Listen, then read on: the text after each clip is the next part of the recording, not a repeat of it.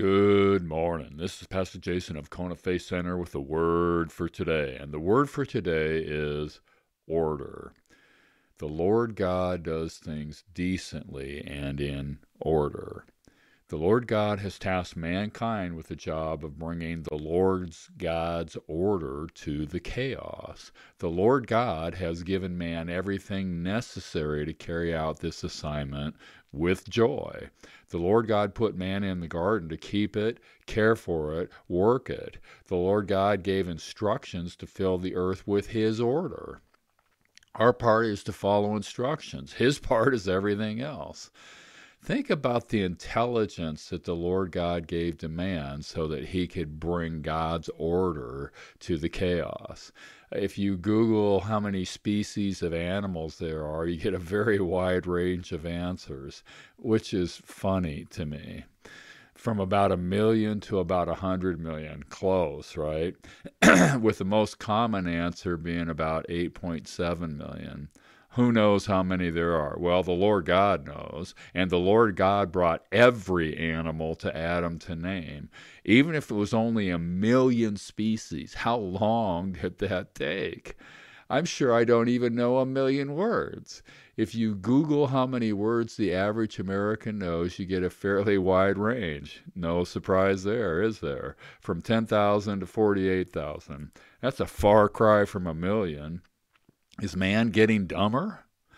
Either way, listen to the instruction given to mankind about where to focus their intelligence, their intellectual capacity, if they want to be prosperous, if they want to be happy, if they want to bring the Lord God's order to the chaos.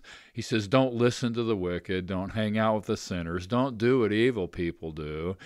Love the Lord God's teaching.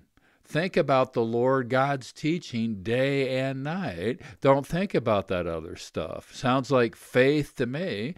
He says, if you do, you will be strong enough to bring order to the chaos. You will produce the fruit necessary to bring order to the chaos, and everything you will do will prosper, and you will have incredible joy during the process. Wow! My wife laughs at me because I like things in order. Of course, what is in order to me may not be in order to you, but there's definitely something enjoyable about things that are done decently and in order.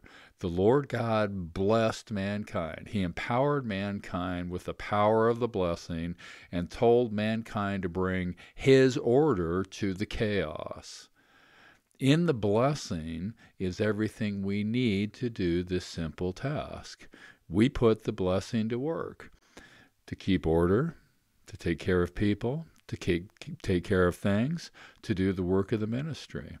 If we follow the Lord God's instructions, if we love His Word, if we think about His Word day and night and not all the other stuff, we will be strong enough to bring order to the chaos. We will be fruitful enough to bring order to the chaos. We will be prosperous enough to bring order to the chaos, and we will enjoy the process. The word for today is order get out there and be blessed today and bring God's order to the chaos. God bless check in tomorrow.